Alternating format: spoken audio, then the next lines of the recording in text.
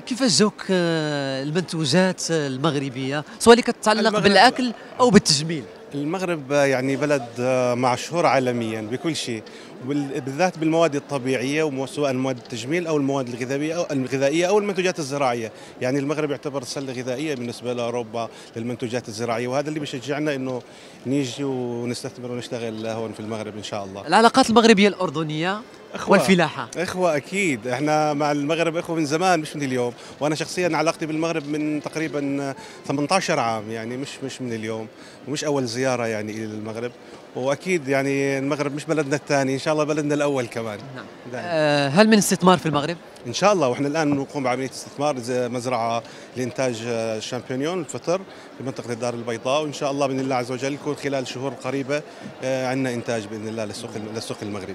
مرحبا بكم في المغرب. أهلا وسهلا فيك. اللهم يسر وأنا الله. متأكد أن المسؤولين آه، للقطاع في. الفلاحة في المغرب غيتعاونوا الشعب, معكم الشعب المغربي شعب لطيف جدا شعب رائع مضياف وكذلك ما شاء الله في الدوائر الحكومية والدوائر آه، الرسمية في المغرب أيضا لقينا كل ترحيب وكل دعم والشكر لهم موصول بداية من مولانا أمير المؤمنين نهاية عند أصغر مواطن مغربي كلكم بالقلب مرحبا أهلا الله وسهلا يكبر. بك شكرا شكرا بزاف. شكرا, شكرا. شكرا.